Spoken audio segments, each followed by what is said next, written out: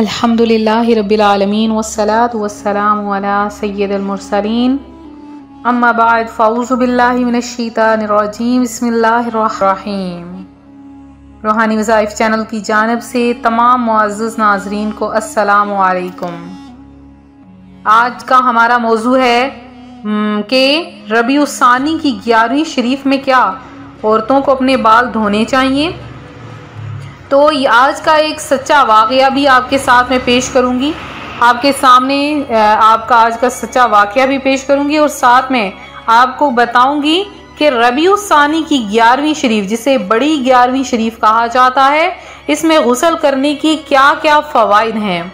और ऐसा क्या करना चाहिए कि बहुत ही आसान सा अमल करने से और सिर्फ़ और सिर्फ़ गसल करने से और ये वजीफ़ा करने से आपके बाल लंबे, घने और चमकदार भी हो सकते हैं।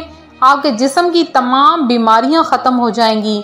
आपका दिमाग और हाफजा भी मज़बूत होगा। आपके जिस्म पर से तमाम बीमारियाँ, आसेब, आफतें, बलाएँ पूरा साल के लिए ख़त्म हो जाएँगी। और एक ऐसा अमल है कि जिसके करने से अल्लाह तबारक व आपके घर में रिजक की बरकत अता फरमा देगा। और आपका घर रिजक से भर देगा, दौलत से भर देगा। तो आज का वो अहम और ख़ास वजीफ़ा आपके साथ में शेयर करने वाली हूँ और आज की हमारी वीडियो बहुत ही ख़ास होने वाली है। हमारे तमाम बहन भाइयों के लिए तो हमारी वीडियो को शुरू से लेकर आखिर तक आपने देखना है।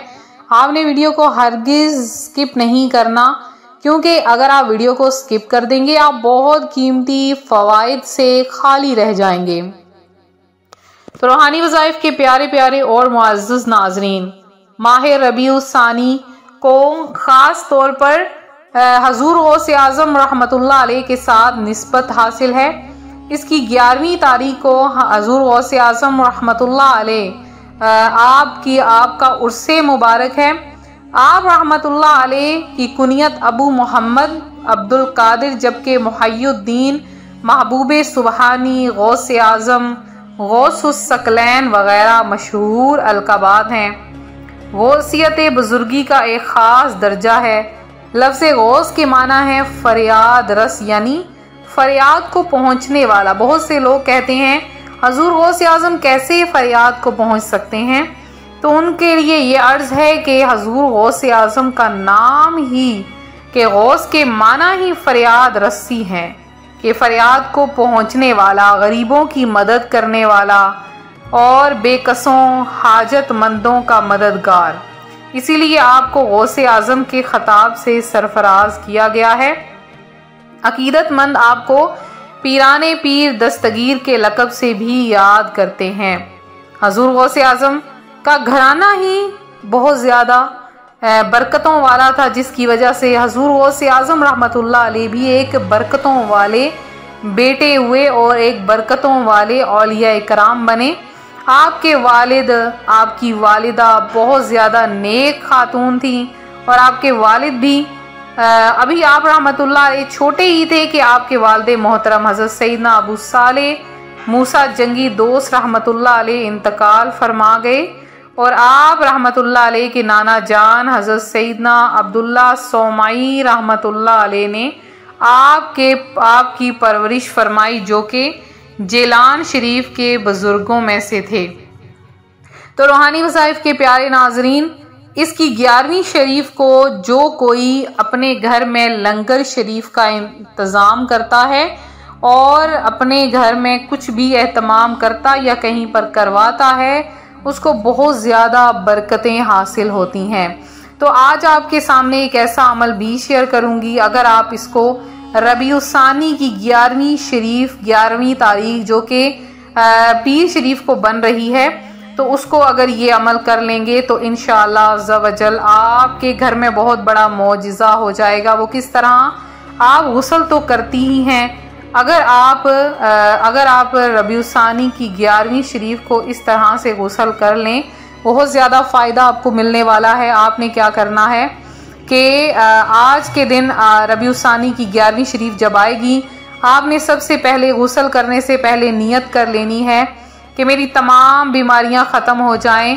फिर आप जिस पानी पर गुसल करने लगें, जिस पानी से अपने सर के बाल आप धोने लगें तो आपने क्या करना है, उस पानी पर सबसे पहले एक गिलास ले लेना है और आपने उस गिलास में सबसे पहले द्रूदे पाक पढ़ना है।